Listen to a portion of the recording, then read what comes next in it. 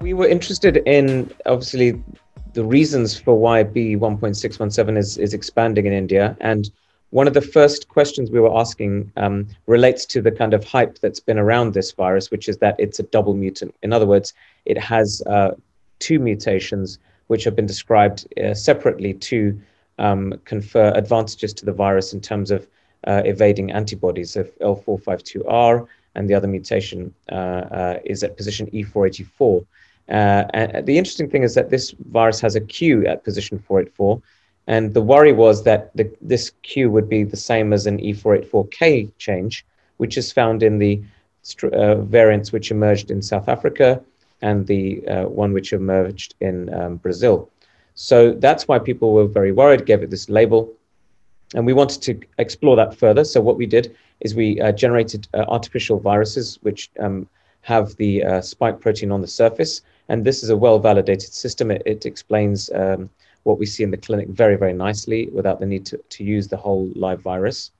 Uh, and so we make these mutated spike proteins, and then we test the ability um, of antibodies to block those viruses from entering a cell.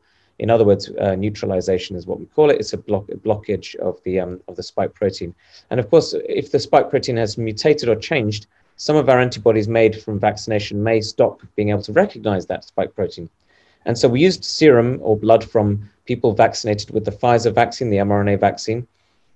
And I should say that I don't expect there to be big differences between the Pfizer vaccine and, let's say, AstraZeneca, because they all use the same sequence uh, of building blocks in the spike protein, the same coding sequence. So what we found is that, um, you know, we made the individual mutations. We found that 452, uh, the, one of the mutations, um, uh, did increase the uh, uh, relative resistance to antibodies by about four or five times, uh, which is modest. It's a relatively modest or small effect, but it's still significant. And it's similar to what people have found for the California variant in the past uh, in peer-reviewed publication. Uh, and uh, when we then did the E484 Q, K and Q, we did both. The K, which is the classical one in the Brazil and South African variants, we found uh, around, uh, we found over tenfold uh, loss of susceptibility to the E484K.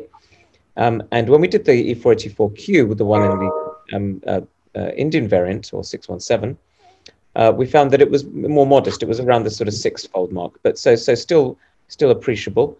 Um, but the important finding uh, is when you put them together, uh, the the effects did not add up in that you didn't get sort of five time five-fold plus another, you know, six-fold, you know, so uh, which would normally give above ten-fold. We, we actually found the the, the fold change or re reduction in uh, neutralization only around the five-fold mark. So so that's reassuring that th this double mutant is not double the, you know, double the effect of the muta individual mutations or the single mutation. It actually has a, a, a, a kind of uh, interaction effect. So, so for in terms of evading our immunity from uh, vaccine, uh, from from following a vaccine, uh, we think that the, the effect will be modest. It could still obviously uh, result in infections despite vaccine, but we still obviously expect the vaccines to be protective uh, uh, against um, severe disease and death. Yes, I would, because Covaxin is uh, is a uses a, a, virus that is has this has a similar sequence in the spike to the AstraZeneca and the um, Pfizer vaccine. So I'd expect a similar sort of effect. And indeed, um, uh, one a group in India has has reported that the um, change in or the, the the the difference in how well the antibodies from Covaxin neutralizes the B617 is actually only around twofold, I think, reduced. So that that's uh, kind of in the ballpark. You know, anyway, you have to remember that you know our numbers were small. There were only nine patients in our study, um, and uh, and so the confidence intervals around our estimate, you know, were relatively wide. And so the twofold effect that they found with the whole virus is not vastly different from the four or five-fold effect that we're seeing uh, using using our system. So uh, so in general, it's in the right direction of, of reassurance. Um, but we should remember that um, the, there are two significant mutations in this uh, spike protein in 61, B617 uh, that potentially uh, uh, generate a more infectious virus. So it's potentially um, more, uh, more transmissible and infectious, and we still need to establish that. yes, it's more. It appears to be more transmissible, and it has some aspects of immune evasion, and that it's not it's not as sensitive to antibodies as the B117, for example, uh, which is the UK variant, which is also circulating in India at the moment. So. Um, it may have an advantage over the UK variant because now in India, many people have been infected. They have some antibody immunity. They also have some vaccine um, uh, protection.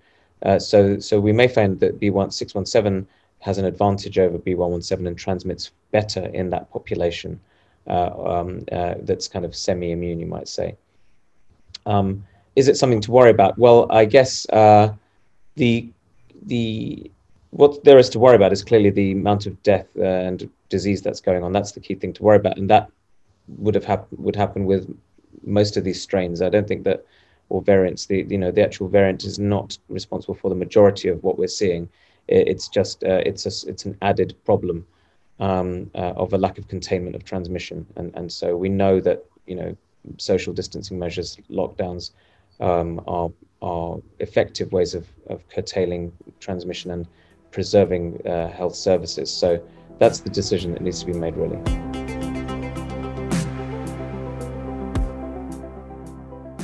see it in the UK. There are certainly people being infected despite vaccines, some of whom become severely ill. We've had, I mean, I know of one person who died who was elderly, but you know, so so, and we know that vaccine responses in older individuals are poorer.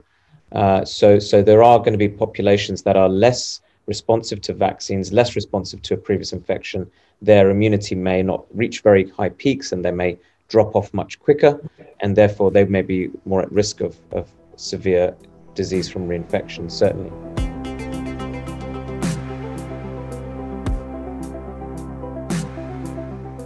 But certainly for me, it is because you know we described you know how um, variants emerge potentially within chronic infections, um, uh, along with other investigators. So these chronic infections in people happen rarely, but the more infections you have, the more chance there is for this to happen.